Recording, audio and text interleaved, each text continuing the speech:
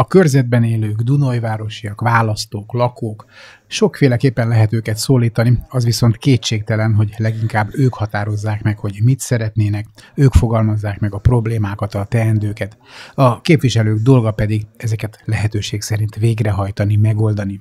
Tóth Kálmán például 22 éve önkormányzati képviselő, és dolgozik a körzetben élőkért, ő ezt pedig így gondolja. Én azt gondolom, hogy mint önkormányzat képviselő soha nem néztem azt, hogy hova tartozunk politikailag, bárhogy. Én mindig azt teszem is legfontosabbnak, hogy amit a választópolgárnak kérem tőle, kérnek tőlem, azt lehető legjobb tudásom szerint próbáljam meg teljesíteni, és próbáljam természetesen az adott önkormányzat képviselőtestetet meggyőzni arról, hogy ezek nagyon fontos dolgok az adott területre. Ilyen példák nagyon sok van, rengeteg képviselő indítványt adtam be, és azok jószerűen meg is valósultak, akár a játszóteret nézem, az is egy képviselőindítványnak köszönhető. És ami még a szívem ügye, az a, amire nagyon sokan nem nagyon szeretik, ez a buszközlekedésnek a fejlesztését kell kitűznünk célért. És azt gondolom, hogy az elmúlt időszakban, ebben az öt évben azért sokat tettünk az újfajta buszközlekedésre, sajnos jöttek a szigorítások akkor megint, de most megint próbálunk visszaadni a városlakóknak itt új telepen is, meg a városban is a buszközlekedést tudjuk rendbe rakni.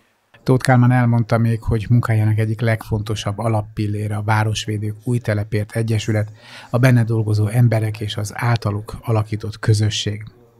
Egy másik közösséget képvisel Orosz Csaba, a tízes körzetet, jellemzően Pentere, Északi Lakópark táborállás Pálhalma lakóit, visszatekintve néhány fontos mérföldkő az érintett területről. Az északi lakóparkban ugye a Pipacs utcát felújítottuk, megvásároltuk, ott ketté volt választva az út, ezt a problémát megoldottuk.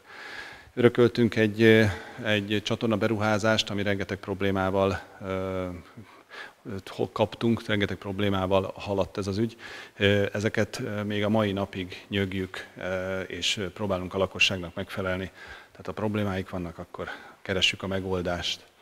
Rengeteg út újult meg, ugye, mint említettem, az északi lakóparkban is, illetve a táborállási utakon, lent a Szabastrand mellett, ugye, akkor a csúszópartél miatt a, a Palánk utcában, az Európa Tanács út egy része, ugye az Ivó út, tehát, és ott egy felszíni vízelvezetés projektet is végig tudtunk vinni, hogy most már felszíni víz is megfelelő helyre folyik le a Dunába. Fontos még a városrész életében az arborétum, ami siker az egész városéban.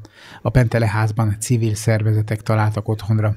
A kincseskert folytatódik, várhatóan a Momba kúria udvarán. A fórumon jelen volt Mintér Tamás polgármester is, aki az összefogásról, a közösség erejéről beszélt. Következő öt évünk itt lesz, és én bízom benne, hogy talán nem lesz még egy ilyen világméretű sok, amivel szembe kell néznünk, és tudunk majd építkezni.